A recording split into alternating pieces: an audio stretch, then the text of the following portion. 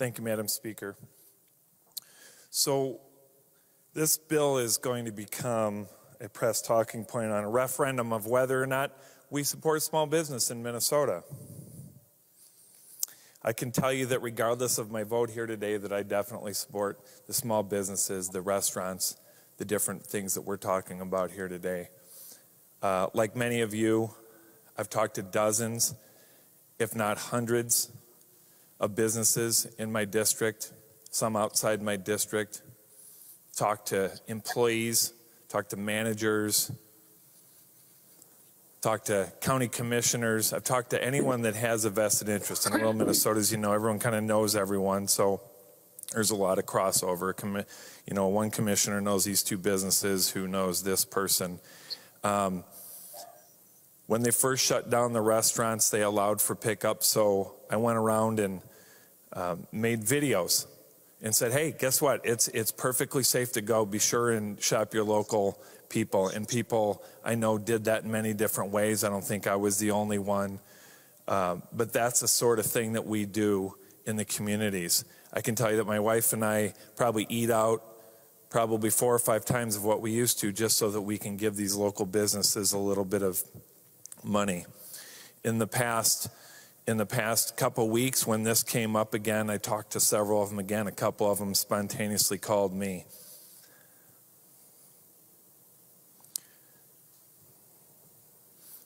So people are asking if we care, but they're all also asking if we have a better government. And um, in this past year, our government, particularly from the governor, uh, we have not been behaving well towards the people of this state. There's been multiple times uh, in the legislature when the governor has allowed us to have a voice. It's usually to spend money. We've done that many times here. Um, it's been a consistent process. Last minute, no committees or uh, a makeshift committee. And if you want to include Ways and Means as a committee, I guess you can include that. Uh, this one, three weeks from special session, the last one, three weeks before an election. General fund money is used when there's a tight budget. We have to have an agreement. I heard earlier we have to have an agreement because the Senate has already sine died. We can't do anything. We know this is going to pass, folks. For anyone watching, this is going to pass. There was an agreement that was made with the Senate. There was an agreement made with the governor. How it was formed, the reason why we recessed for a while was so that we can get that in shape and then the Senate could do it because we chose to do it that way first, then move over. I'm sure that was part of the agreement in the back rooms with just a handful of people talking. That's not betterment. Uh, that's not better government for the people, and they're asking that also. Folks, this is crazy. I, I just jotted down why do businesses in a free country have to beg? Why did we make this about well, this is going to happen. So, as been, has been said many times tonight, at least we can give these people a little bit of money. It's probably not enough. And guess what? It's not going to be enough. But at least it's something. At least we can show that we care. And I do believe that the people in this room, I do believe the people that worked on this do care. Okay? I'm not questioning the integrity of that. I just don't know why we keep doing this over and over and over again. I do have um, just one uh, more thing that point that I want to make, but I, I'm going to have to do it by asking if um, if the author of this bill, Chair Mahoney, if he would be if he would uh, answer a few questions, Madam Speaker. Representative Mahoney, will you yield?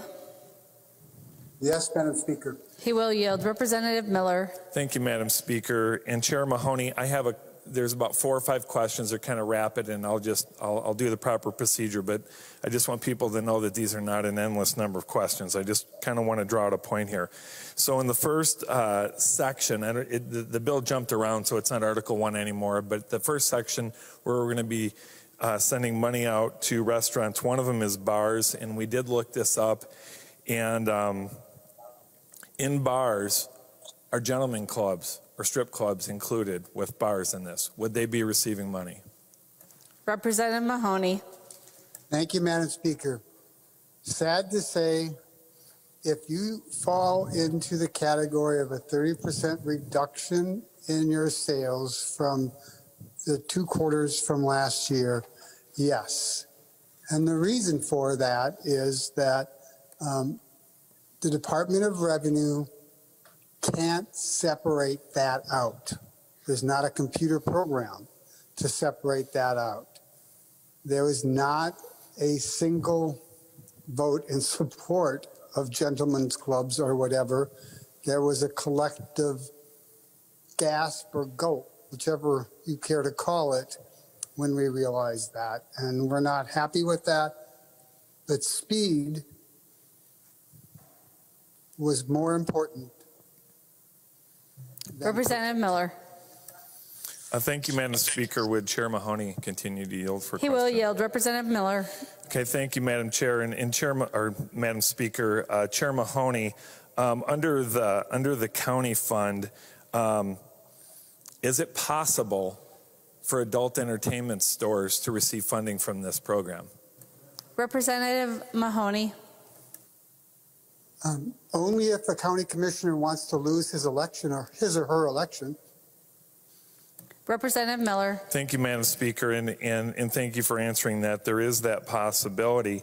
And the reason why I bring these two up is, I mean, they're distasteful, okay? Um, and I'm not suggesting that anyone thinks that they're otherwise, but anyone that knows that uh, since I've been here, I've worked a lot on human trafficking. These are two bastions of human trafficking. So understand that there is, for one, for sure, money will go if they qualify under the under the guidelines, and another one may receive from locations where illegal activities are going on. Your taxpayer dollars, folks, could be going to that. In one case, it probably will be going to it.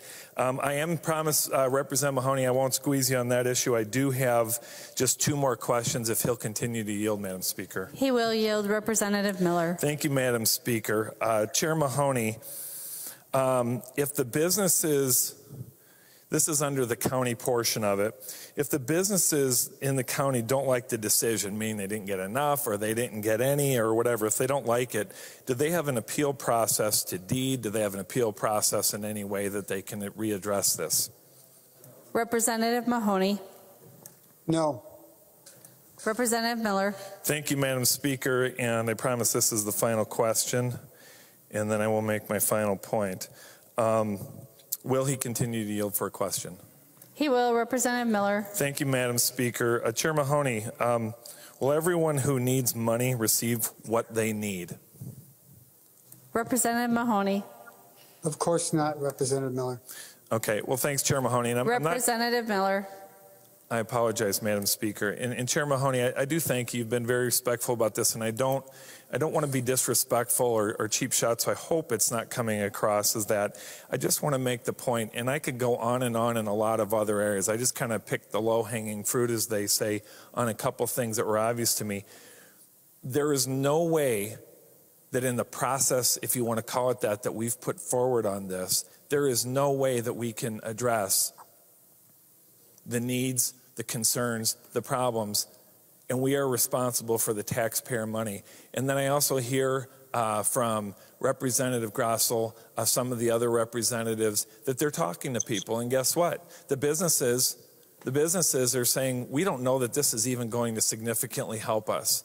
And I hear things like, thanks for sending us scraps and stuff like that. And by the way, that's, that's been the consistent message that I've heard. I want to close with this. I received a text uh, from a business owner about two or three days ago. I will tell you this is consistent with my business owners in my district. And again, anyone that knows me, when I say I talk to business owners in my district, you can count on it. I have talked to a lot of them.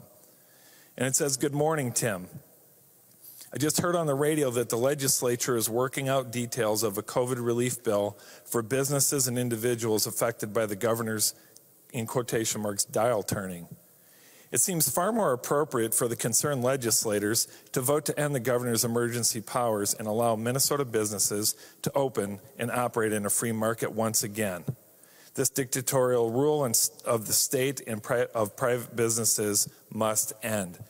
I couldn't agree more with this constituent.